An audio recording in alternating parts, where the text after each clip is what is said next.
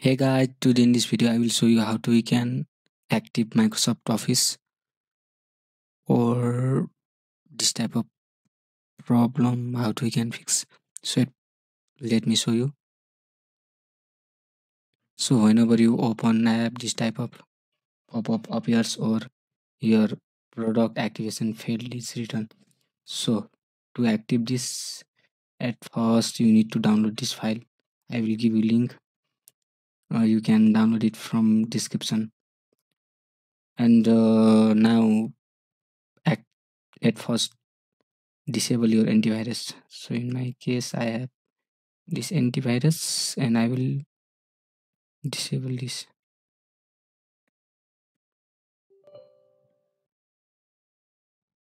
As you can see my antivirus is disabled.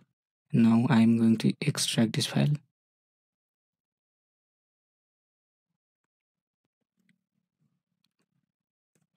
its password is 123 hit ok. As you can see it's extracted. Now open this software. Gts now click in this KMS auto.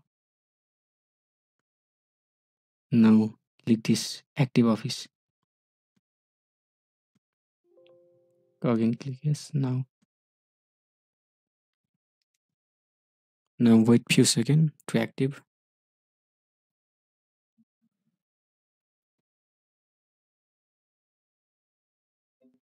As you can see activation is successful. So now let's check our office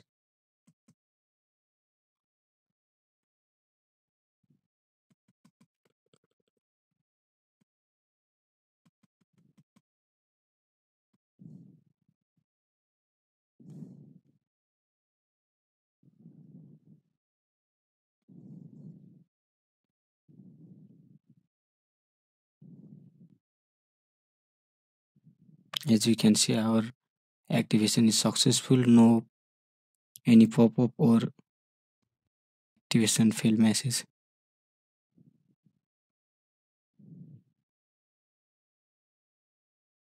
as you can see product is activated product activated. So our office is activated.